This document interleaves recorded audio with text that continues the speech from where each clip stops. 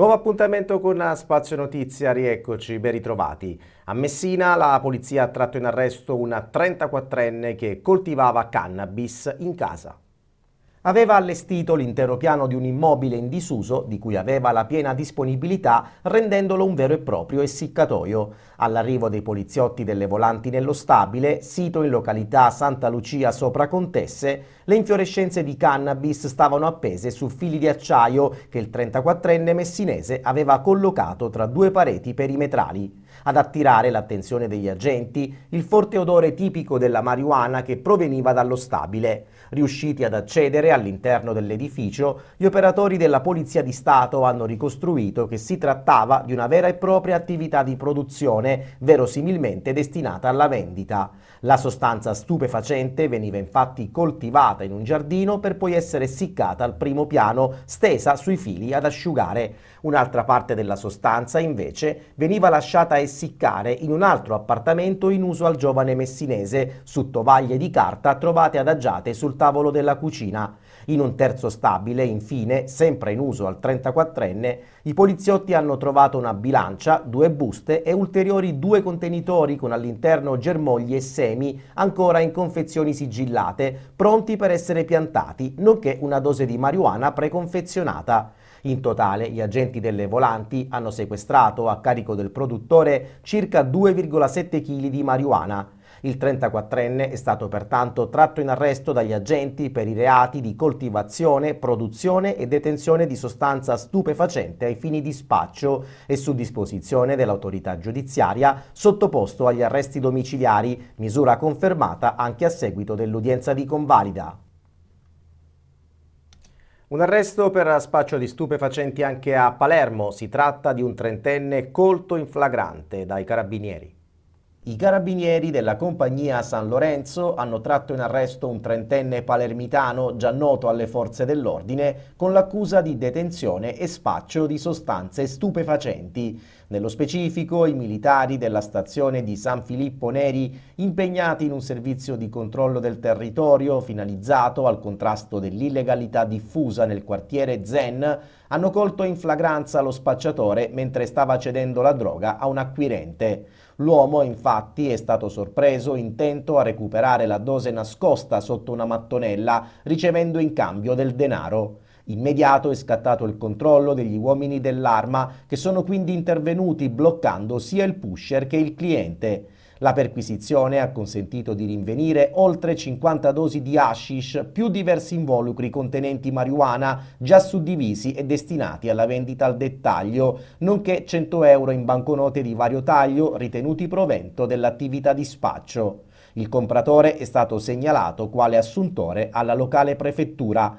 La droga è stata sequestrata e verrà trasmessa al competente laboratorio di analisi per le sostanze stupefacenti del Comando Provinciale di Palermo. Il trentenne, su disposizione del pubblico ministero, è stato posto agli arresti domiciliari in attesa dell'udienza di convalida. L'arresto è stato convalidato e il giudice per le indagini preliminari ha disposto l'applicazione della misura cautelare dell'obbligo di presentazione alla polizia giudiziaria. A Rosolini invece nel Siracusano un 47enne finito in manette nascondeva infatti della sostanza stupefacente all'interno di un forno. I carabinieri della sezione operativa della compagnia di Noto, unitamente a quelli della stazione di Rosolini, hanno tratto in arresto un pregiudicato di 47 anni del posto per detenzione illegale di sostanze stupefacenti e armi. A seguito di una perquisizione domiciliare, i militari dell'arma hanno rinvenuto, all'interno di un forno a legna, circa 450 grammi di sostanza stupefacente che è stata sequestrata così come un calciolo di fucile tagliato sotterrato nel giardino e 32 cartucce calibro 12 occultate in un pozzetto di plastica scavato nelle adiacenze della proprietà. L'arrestato, dopo le formalità di rito, è stato associato presso la casa circondariale Cavadonna di Siracusa.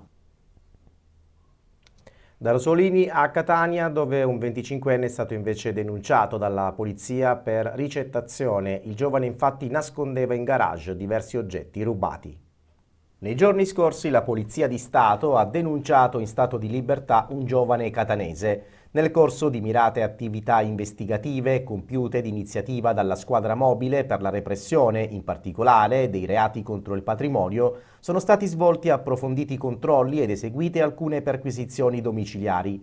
Sulla base delle risultanze di un'accurata attività info-investigativa, i poliziotti hanno fatto accesso in due distinti immobili ubicati nel quartiere San Cristoforo, i cui ingressi erano protetti da porte munite di grossi lucchetti che sono stati scardinati grazie all'intervento dei vigili del fuoco appositamente fatti intervenire sul posto.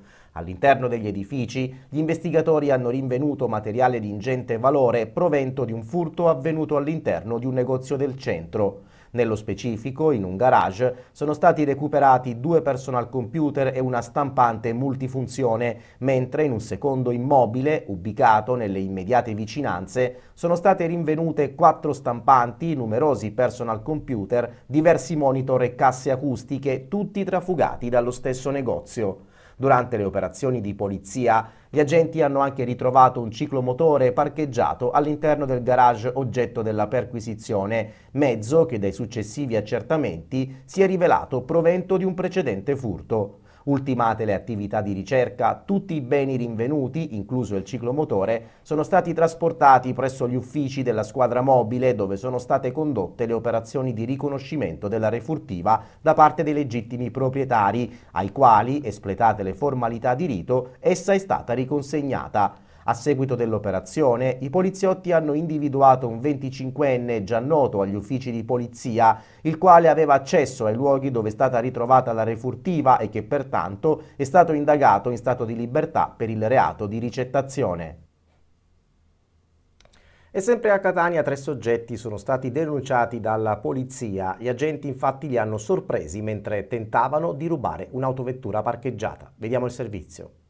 La Polizia di Stato ha denunciato tre persone per tentato furto aggravato a seguito di una segnalazione pervenuta alla sala operativa di persone sospette intente ad armeggiare su un'auto in sosta. Le volanti sono intervenute tra la via Fiamingo e la via Conte Ruggero dove si sono messe alla ricerca delle persone segnalate di cui era stata fornita anche una descrizione. Uno in particolare veniva descritto con indosso un cappellino a pois e una mascherina chirurgica lo stesso soggetto era stato indicato anche come colui che aveva armeggiato sull'autovettura in sosta impugnando un oggetto non meglio descritto. Il complice invece veniva descritto come un soggetto indossante tra l'altro un berretto nero da baseball. Giunti sul posto, gli agenti hanno avuto ulteriore aiuto da parte di un residente che ha loro indicato la via di fuga dei tre che, accortisi dell'imminente arrivo delle volanti, si erano allontanati. In supporto agli agenti, in quel frangente, sono intervenuti anche gli operatori del 118 che, trovandosi nelle vicinanze, avevano visto due persone sospette allontanarsi a bordo di un'auto in direzione di via Oberdan. La sala operativa ha dunque diramato una nota di ricerca della vettura indicata che è stata rintracciata in corso dei Martiri della Libertà con a bordo tre uomini, due dei quali corrispondenti alle prime segnalazioni. La vettura è stata fermata e gli occupanti sottoposti a controllo visti molteplici precedenti di polizia, alcuni dei quali in materia di reati contro il patrimonio, i tre sono stati perquisiti così come l'autovettura, al cui interno sono stati rinvenuti un coltello multifunzione del tipo svizzero e quattro cacciaviti. Sono stati inoltre rinvenuti sia il berretto nero da baseball che il cappello a pois e la mascherina chirurgica, tutto quanto corrispondente alle prime segnalazioni giunte in sala operativa. Quanto rinvenuto è stato sequestrato. Durante il sopralluogo, eseguito tra la via Fiammingo e la via Conte Ruggero, gli agenti hanno individuato la vettura sulla quale i soggetti erano stati visti armeggiare, rilevando su di essa chiari segni riconducibili a un tentativo di furto. La macchina infatti aveva il finestrino anteriore del lato passeggero scalfito. Visti i fatti accertati e gli elementi raccolti, i tre sono stati denunciati in stato di libertà per il reato di tentato furto aggravato in concorso. I poliziotti del commissariato di pubblica sicurezza di Gela hanno eseguito un'ordinanza di aggravamento della misura cautelare del divieto di avvicinamento alla persona offesa con quella più afflittiva degli arresti domiciliari con braccialetto elettronico e con divieto di comunicazione con persone diverse da quelle conviventi, emessa dal Tribunale di Gela nei confronti di un trentenne indagato per il reato di maltrattamenti in famiglia. Il giudice ha inasprito la misura cautelare alla luce delle violazioni da parte dell'indagato del divieto di avvicinamento alla persona offesa. Cambiamo decisamente argomento, parliamo di calcio e del Catania tornato a respirare grazie alla vittoria per 2-0 sul campo del Brindisi. E allora andiamo ad ascoltare le parole dell'allenatore del Catania, mister Tabbiani, a fine partita. Abbiamo cercato delle soluzioni, siamo stati non velocissimi in alcune situazioni, ma è anche vero che il Brindisi per un bel po' di minuti è riuscito a scivolare veloce con le mezzali poi più avanti è andata la partita più gli spazi sono allargati, già negli ultimi dieci del primo tempo sembrava che stessimo prendendo un po' di campo e alla fine eh, si, si, era un po' visto che nel secondo tempo abbiamo avuto due o tre situazioni che nel primo tempo non riuscivamo a creare e quindi siamo stati pazienti nel primo tempo anche se dobbiamo migliorare nella fase di possesso, nella velocità di determinate cose. Dobbiamo liberarci un po' di, di preoccupazione perché dopo l'1-0 che è la prima volta che riusciamo a gestire così bene il vantaggio parte a Caserta, ma era una partita diversa. Eh, abbiamo, sembrava che ci fossimo liberati di qualcosa, abbiamo iniziato a giocare molto più velocemente. È anche vero che troviamo spesso squadre chiuse, quindi non è facile trovare subito dei buchi. Siamo stati equilibrati, che è una cosa importante perché comunque non abbiamo perso distanze, nonostante la partita ti poteva portare ad alzarti con tanti giocatori e a concedere delle ripartenze pericolose.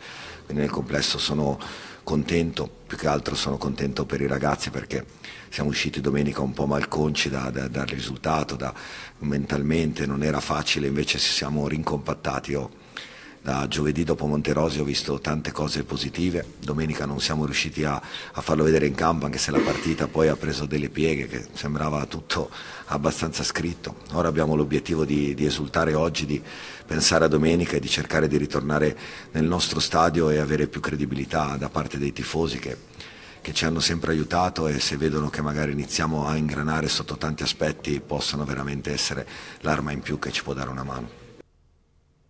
Parliamo ancora di sport, cresce l'attesa a Francavilla di Sicilia per la sesta edizione di Sotto il Vulcano Trail, la manifestazione di trail running con due percorsi scenografici tra l'Etna e le gole dell'Alcantara. Il servizio.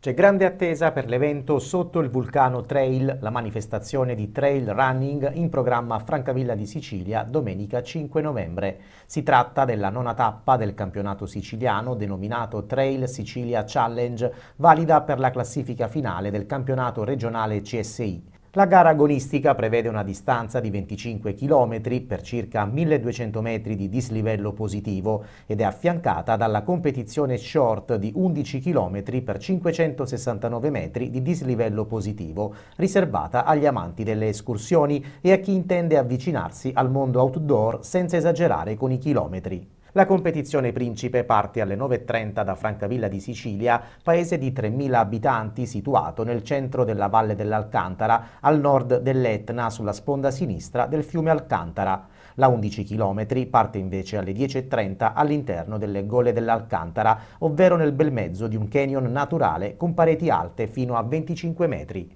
Il percorso è altamente scenografico. Da Francavilla di Sicilia si corre in direzione di Castiglione di Sicilia, antico paese situato in posizione panoramica su una collina nel versante nord dell'Etna. Quindi si procede lungo la strada collinare in territorio di lingua glossa con vista mozzafiato sul vulcano poi il suggestivo passaggio all'interno delle gole dell'Alcantara e infine la scalata verso il borgo di Motta Camastra tra vigneti, uliveti e i ruderi dell'antico castello e il taglio del traguardo a Francavilla, punto di partenza. La gara short parte come detto dalle gole dell'Alcantara e segue l'ultimo tratto della competizione lunga.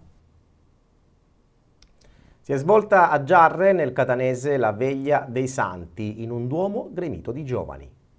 La vigilia di tutti i santi è stato un giorno di festa, gioia e santità per i giovani della diocesi di Acireale, invitati a partecipare alla veglia che si è tenuta a Giarre nella parrocchia di Sant'Isidoro Agricola, organizzata dalla pastorale giovanile diocesana, alla presenza di Monsignor Antonino Raspanti. Oltre 600 i ragazzi accompagnati dai propri sacerdoti che hanno gremito il Duomo muovendo la propria gioventù alla ricerca di una santità possibile. Don Orazio Sciacca, direttore della pastorale giovanile acese, ha preso spunto dall'esortazione apostolica Gaudete et exultate che nelle sue pagine racchiude il segreto dei cinque atteggiamenti da tenere nella vita di tutti i giorni. Sopportazione, pazienza e mitezza, gioia e senso dell'umorismo, audacia e fervore, in comunità, in preghiera continua. Sono espressioni queste che aprono le porte alla santità e portano dentro di sé non uno sforzo estremo, misto a sterili rinunce, quanto un'esperienza di amore gratuito che Dio offre ai suoi figli. Ospiti della serata alcuni ragazzi dell'associazione Attendiamoci che nasce grazie a Don Valerio Chiovaro. Il sacerdote, nel settembre del 2021, intuisce la necessità di avere un luogo in terra calabrese che sia casa di formazione e crescita per i giovani. Da quel momento l'esperienza dell'associazione cresce e si fa testimonianza per altri ragazzi in cammino e in ricerca. La veglia del 31 ottobre si conferma anche quest'anno come un'occasione imperdibile per coloro che vogliono percorrere i sentieri di bene nella vita. È tutto, possiamo chiudere questo appuntamento con Spazio Notizia.